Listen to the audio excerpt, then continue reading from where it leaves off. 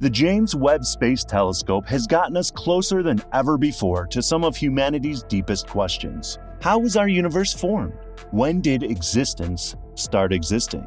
Why are we here? This telescope is allowing us to peer into the origins of our universe, allowing us to see back in time and understand our place in the cosmos, giving us the best look we've ever had at the very origins of our universe. Images from the James Webb Space Telescope has allowed us to explore what we believe to be the very beginning of time, but its recent discovery is seriously challenging our belief. Now it says time doesn't exist. How is it possible that time doesn't exist? Should the theory of space and time be abandoned? Let's find out. Many civilizations had their own answers for what the stars were and were for. Thousands of years ago, with no planetary tools, other than the eyes and the imagination.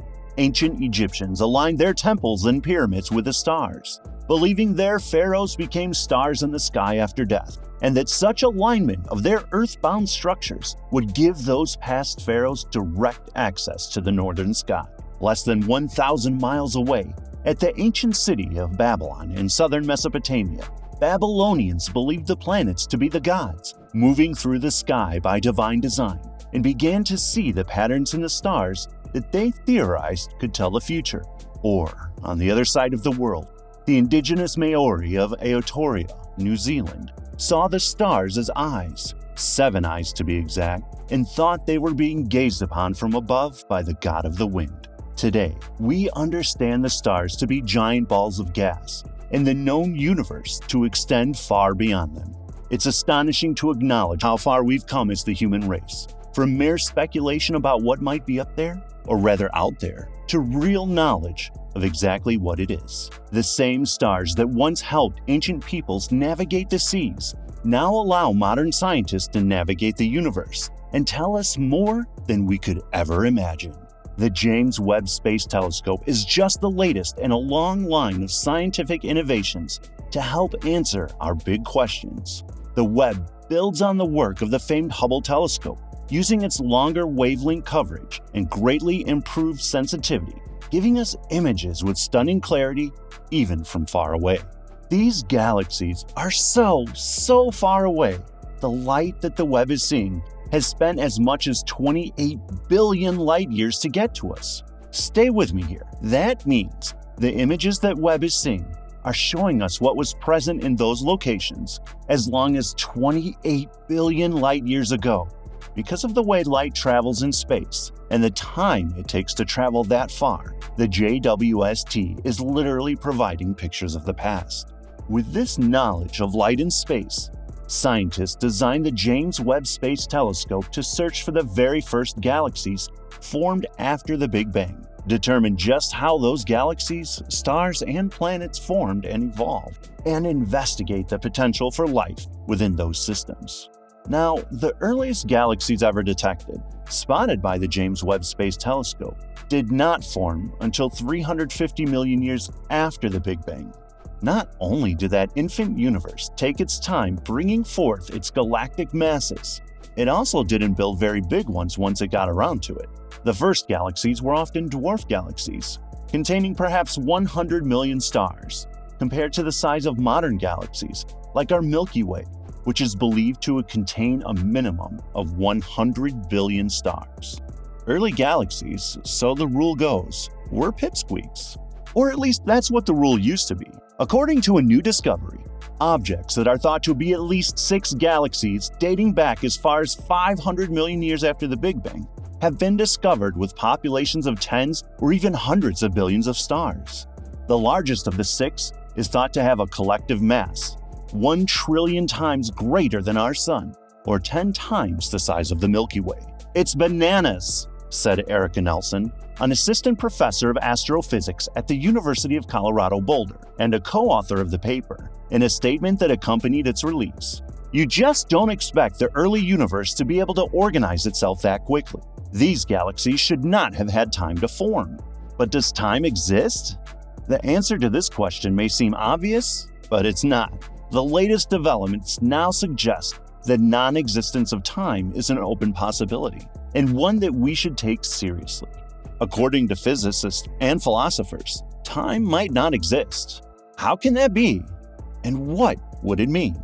Physics is in crisis. For the past century or so, we have explained the universe with two wildly successful physical theories general relativity and quantum mechanics. Quantum mechanics describes how things work in the incredibly tiny world of particles and particle interactions. General relativity describes the big picture of gravity and how objects move. Both theories work extremely well in their own right, but the two are thought to conflict with one another. Though the exact nature of the conflict is controversial, scientists generally agree both theories need to be replaced with a new, more general theory. Physicists want to produce a theory of quantum gravity that replaces general relativity and quantum mechanics, while capturing the extraordinary success of both. Such a theory would explain how gravity's big picture works at the miniature scale of particles. It turns out that producing a theory of quantum gravity is extraordinarily difficult. One attempt to overcome the conflict between the two theories is string theory. String theory replaces particles with strings vibrating in as many as 11 dimensions. However, string theory faces a further difficulty. String theories provide a range of models that describe a universe broadly like our own and they don't really make any clear predictions that can be tested by experiments to figure out which model is the right one. In the 1980s and 1990s, many physicists became dissatisfied with string theory and came up with a range of new mathematical approaches to quantum gravity. One of the most prominent of these is loop quantum gravity, which proposes that the fabric of space and time is made of a network of extremely small discrete chunks, or loops. One of the remarkable aspects of loop quantum gravity is that it appears to eliminate time entirely. Loop quantum gravity is not alone in abolishing time. A number of other approaches also seem to remove time as a fundamental aspect of reality. So we know we need a new physical theory to explain the universe, and that this theory might not feature time. Suppose such a theory turns out to be correct. Would it follow that time does not exist? It's complicated, and it depends on what we mean by exist. Managing in a world without time seems positively disastrous. Our entire lives are built around time. We plan for the future in light of what we know about the past. We hold people morally accountable for their past actions, with an eye to reprimanding them later on. We believe ourselves to be agents, entities that can take action, in part because we can plan to act in a way that will bring about changes in the future. But what's the point of acting to bring about a change in the future when, in a very real sense, there is no future to act for? What's the point of punishing someone for a past action when there is no past, and so apparently no such action? The discovery that time does not exist would seem to bring the entire world to a grinding halt we would have no reason to get out of bed. There is a way out of the mess. While physics might eliminate time, it seems to leave causation intact, the sense in which one thing can bring about another. Perhaps what physics is telling us is that causation and not time is the basic feature of our universe. It seems paradoxical to believe that time is not real, but many assumptions that humankind had made about how the world functions now need to be completely rethought we are now questioning everything, including time. There have been so many things in physics that we thought were fundamental that turned out to be mere illusions. What if time really doesn't exist?